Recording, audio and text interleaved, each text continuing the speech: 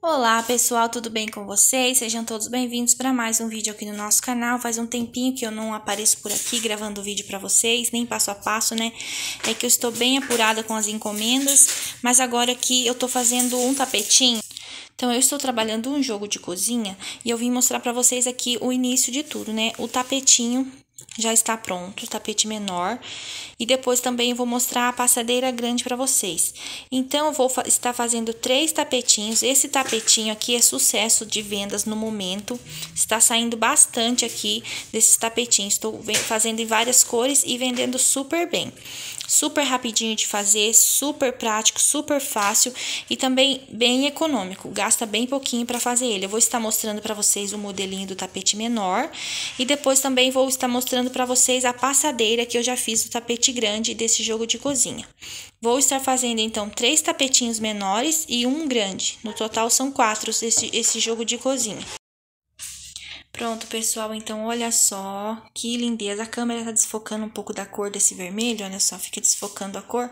Mas é um vermelho bem vivo, bem lindo. E olha só um tapetinho que eu estou trabalhando, o jogo de cozinha. Olha só que lindo, esse aqui é o tapete menor. Ele ficou com 75 centímetros de comprimento por 45 centímetros de largura. Então, eu acho que ficou um tamanho bem bom mesmo, né? Um excelente tamanho. Na verdade, o tamanho padrão dos tapetinhos, que a gente sempre faz por 75, 80, por 45 ou 50 centímetros, né? Então, olha só. Ele é todo no vermelho, somente o verde aqui, né? Que a cliente me pediu dessa cor, então eu fiz aqui todo no vermelho.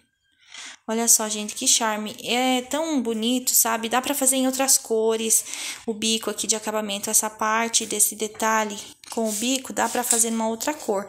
É que mesmo ela quis todo vermelho, então eu fiz assim todo vermelho. Vou mostrar pra vocês também o tapete grande, a passadeira maior. Desse jogo de cozinha, são três menores e uma passadeira grande, de 1,30m. Esse tapetinho eu trabalhei, trabalhei ele todo no barbante do número 6, agulha de 3,5, 3 milímetros, 3,5 milímetros.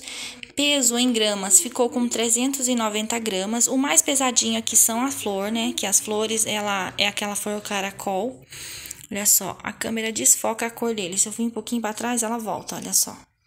Então, essa aqui é a flor caracol, ficou com 390 gramas, esse tapetinho aqui, o menor. E a agulha que eu usei foi a 3,5 milímetros.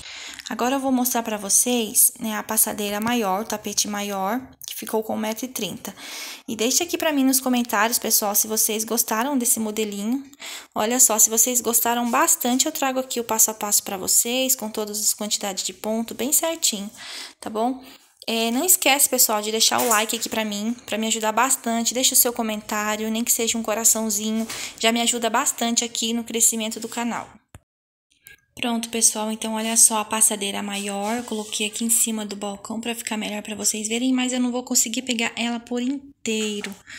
Olha só o tamanho que ficou. Então, olha só a lindeza que fica esse modelinho de tapete. A passadeira maior eu fiz com sete flores, mas aí fica a critério de vocês. Dá pra aumentar, dá pra fazer menor, né? Com mais flores. Eu fiz com sete flores aqui, essa aqui maior. E o tapetinho menor eu fiz com três flores cada tapetinho. Então, olha só. Essa passadeira ficou medindo 1,30 de tamanho, de comprimento por 55 de largura. Eu fiz ela um pouquinho mais larga do que o tapete. Então, olha só. Que lindeza, eu estou amando fazer. Lembrando que o tapetinho está sendo sucesso de vendas. É um modelinho bem simples, mas muito bonitinho mesmo, muito delicado. E eu faço em cores diferentes também, né? Como eu já falei para vocês. Então é isso, pessoal. Esse foi o vídeo de hoje. Eu espero muito que vocês tenham gostado. É, me desculpa pela demora de não aparecer aqui. Faz tempinho que eu não apareço gravando passo a passo para vocês, né? Porque eu estava com bastante encomendas, mas agora já estamos aí voltando aos poucos.